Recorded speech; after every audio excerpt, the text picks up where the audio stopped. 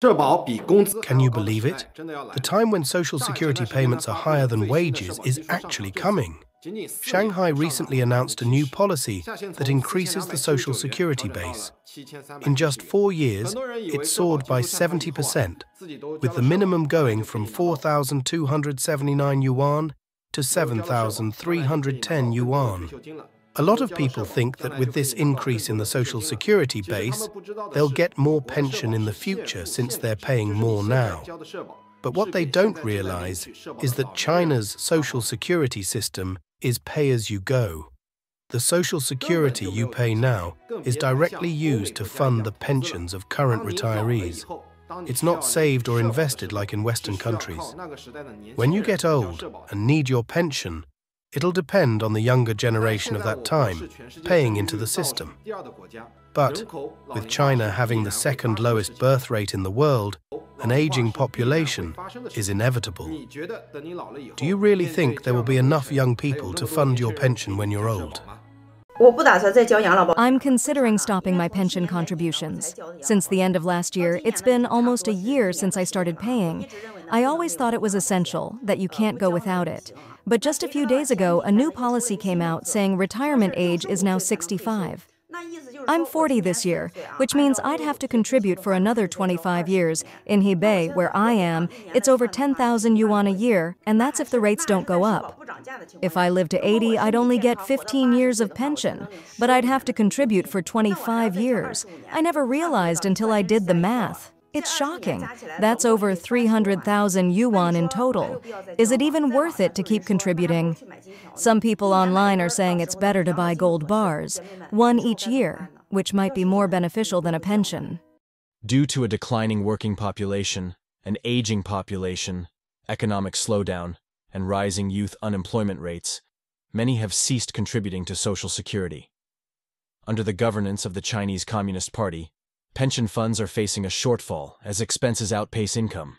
Various provinces and cities have consequently raised the minimum contribution base for employees' basic pension insurance.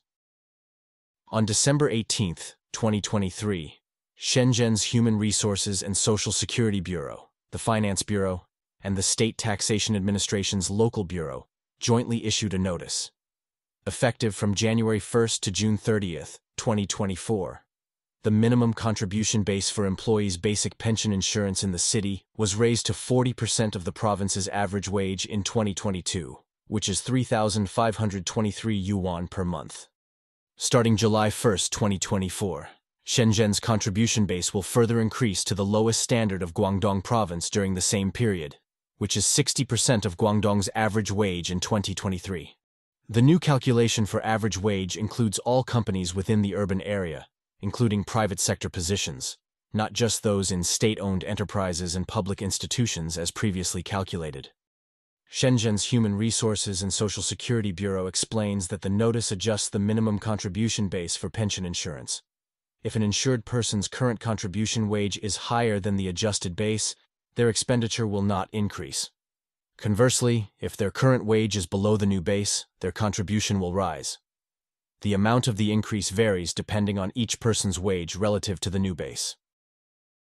Under Shenzhen's old standard, the minimum contribution base for pensions in 2023 was 2,360 yuan, compared to the new standard of 3,523 yuan for the first half of 2024.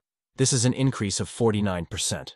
If contributions are made at the minimum base of Guangdong province, 60%, the amount would be 5,284 yuan. According to new regulations, the contribution base and wage standards set in 2022 imply that after July 2024, the minimum pension insurance payment in Shenzhen will have risen by at least 120%. Caixin reports that as the contribution base continues to rise, if the increase outpaces wage growth, more low-income individuals and casually employed people will fall below the minimum standard, leading to an excessive financial burden. In China, the minimum contribution base for pension insurance is adjusted annually. Theoretically, adjustments should match the previous year's average wage increase. However, in practice, the rise in the Social Security contribution base often exceeds wage growth significantly. Some citizens have expressed dissatisfaction with the new regulations, as their wages have not increased, but Social Security contributions have, effectively reducing their take-home pay. X users have commented that local governments under the Chinese Communist Party are running out of funds, with tax revenue and income from land sales drastically declining. Even Shenzhen is short on funds, let alone other regions, which may resort to various charges and fines to exploit the populace. This signals hard times ahead. Others believe the strategy is to collect more through Shenzhen and redistribute funds, estimating that many places across the nation are struggling to sustain their social security funds. Another viewpoint suggests simply opting out of purchasing pension insurance, as there is little chance of reaping the benefits later on. Mr. Zheng, a small business owner in Longgang district of Shenzhen, states that businesses contribute a large portion of social security payments, with enterprises typically covering 60 to 80 percent, with the state's pension funds suffering significant deficits and healthcare funds also lacking. He says the government is forcing the raise of corporate contribution rate, Mr. Zheng notes that his company contributes 80% to employees' social security, with the staff paying only 20%. Such practices could lead to the collapse of small and medium-sized enterprises, thinning their profits. This goes beyond simply being able to pay workers. The very existence of the company is in jeopardy. An article published by Tencent's public account Ma Jiangbo's Trend Research indicates that Beijing's pension contribution base is 6,326 yuan, while Shanghai stands at 7,310 yuan. The universal increase in Social Security contribution bases not only burdens employees but hits small business owners hardest. The article points out that population aging is an unstoppable trend, and ordinary workers and small to medium-sized businesses are forced to bear more of the social costs of aging. With the government's finances stretched thin, the only alternatives seem to be raising taxes and printing money, with the common people ultimately bearing the brunt. Financial commentator Tsai Shen-kun suggests that Guangdong and Shenzhen, being among China's most economically developed regions, are being targeted by the CCP authorities to increase social security levies to compensate for pension shortfalls in the northeast and northwest. Securities Times reports that in 2022, 21 provinces in China were required to contribute over 200 billion yuan to offset pension deficits in other provinces. Guangdong contributed the most, with 88.5 billion yuan, while the three northeastern provinces, Liaoning, Heilongjiang, and Jilin, were the largest beneficiaries, receiving 82.2 billion, 82 billion, and 23.8 billion yuan, respectively. Additionally, China's social security is deeply in deficit. A September 2023 report from the National Council for Social Security Fund shows that in 2022, the Chinese Social Security Fund suffered substantial stock market losses, totaling a loss of 138 billion yuan, with an investment return rate of negative 5%. Chinese media report that the Social Security Fund has been involved in investment activities, with a significant portion in stocks but not limited to them. At the end of 2022, the Social Security Fund had a total asset of 2.9 trillion yuan, one-third of which was directly invested, while two-thirds were managed by entrusted managers. The media articles point out that since its establishment in 2000, the Social Security Fund has been involved in stock trading for 23 years, with three occurrences of losses. The first was in 2008 during the American subprime mortgage crisis, that triggered a global financial tsunami, severely affecting stock and bond markets, including China's Social Security Fund. The second loss occurred in 2018 amidst complex international trade and significant capital market fluctuations, resulting in a 2.3% loss for the Chinese Social Security Fund. The third loss was in 2022, a year when the overall stock market dropped by 21%, and the bond market declined by 16%, leading to a 5% loss for the Social Security Fund. The articles suggest that domestic and international financial environments significantly affect the profitability of the Social Security Fund. In 2022, factors such as the Russo-Ukrainian conflict and the pandemic led to decreased demand, skyrocketing prices, and weakened economic expectations, culminating in losses for the Social Security Fund. Moreover, in 2022, China's real estate market entered a downturn, with new construction area and sales area declining by 39% and 24%, respectively. the implosion of leading private real estate firms led to a gloomy bond market, causing the Social Security Fund to lose money alongside the overall downturn. Following the announcement of losses within the Social Security Fund, many are concerned about the safety of their pensions. In fact, China's pension system has been in crisis for some time. As early as March 8, 2011, CPPCC member Zhang Yunling indicated during the two sessions that the pension shortfall had reached 1.6 trillion yuan, necessitating unconventional methods to accelerate the accumulation of the National Social Security Fund. Zhang Yunling stated that China has the largest elderly population and the fastest aging rate in the world. By 2030, there are expected to be 400 to 450 million Chinese over 60 years old assuming an annual expense of at least 80,000 yuan per person, plus medical costs, the figure is enormous. Considering the current sources of funding, government allocations, state-owned enterprise shares, lottery revenues, social insurance, and personal accounts, the pension funds are far from sufficient. This is posing to be China's greatest challenge. Zhou Xiaochuan, former governor of the People's Bank of China, remarked at a forum at the end of February 2023 that by the end of 2021, various types of pension funds in China totaled 11.8 trillion yuan, accounting for about 10% of China's GDP. On November 20, 2020, the China Insurance Industry Association released the China Pension Third Pillar Research Report, predicting a pension gap of 8 to 10 trillion yuan within 5 to 10 years, a figure that is expected to grow over time. The report points to 40 years of planned birth policies as the cause for the reduction in the young and middle-aged population, leading to an aging population and a decrease in the number of people contributing to pension insurance.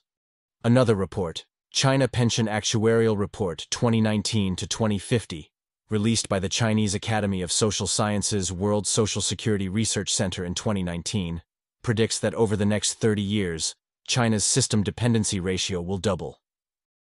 In 2019, the total surplus was 106 billion yuan, but by 2028, the surplus is expected to turn negative for the first time, with a deficit of 118 billion yuan. The report also notes that the cumulative surplus of the Urban Workers' Basic Pension Insurance Fund is expected to peak at around 7 trillion yuan by 2027, before beginning to decline, with the possibility of depleting the cumulative surplus by 2035. The report states that the basic pension insurance system faces the challenge of expenditures surpassing income in the medium to long term, and without including fiscal subsidies, pension funds began to see net outflows as early as 2019. According to the report, the pay pressure of basic pensions has been rising since 2019, with nearly two contributors supporting one retiree. By around 2050, it's projected that nearly one contributor will need to support one retiree. Zhengshu Guang, independent self-media commentator, also agrees that China's pension funds will hit zero at a critical point due to the country's unique phenomenon of 40-plus years of the one-child policy, leading to simultaneous aging and a decrease in birth rates. Under these circumstances, the pension shortfall is expected to accelerate. Zhengshu Guang explains that the pension system was designed for the working youth to support the current retired elderly. The one-child policy equates to a lack of investment in human capital by the state and families alike, directing funds towards production and consumption instead. As a result, the GDP looks favorable, but in the future, there will be no one to contribute to the pension fund, leading to a significant deficit that the state will have to cover. Studies from the Chinese Academy of Social Sciences have highlighted a grave issue with the pension system, where contributions fail to meet outgoing payments. This shortfall has resulted in depleted personal accounts for workers who have not yet retired and has effectively created hidden liabilities in pension rights, presenting a looming crisis of insufficient funds to fulfill pension payments. Indeed, according to information from the Ministry of Finance, the pension fund was already in deficit by 156 billion yuan in 2014, escalating to a deficit of 312 billion yuan by 2015. Self-media Cold Eye Finance indicates that while aging is the main cause of China's pension shortfall, it is not the sole reason. Many factors stem from systemic issues within the Communist Party's regime. When China's pension system was established, State-owned enterprises aim to shift pension responsibilities to the central government without adhering to international standards. This insular approach has led to opaque operations and corruption among officials misappropriating pension funds, exacerbating the deficit. Ah Chiang, a veteran Chinese media personality, has stated that 70% of provinces in China are already spending more on pensions than they collect.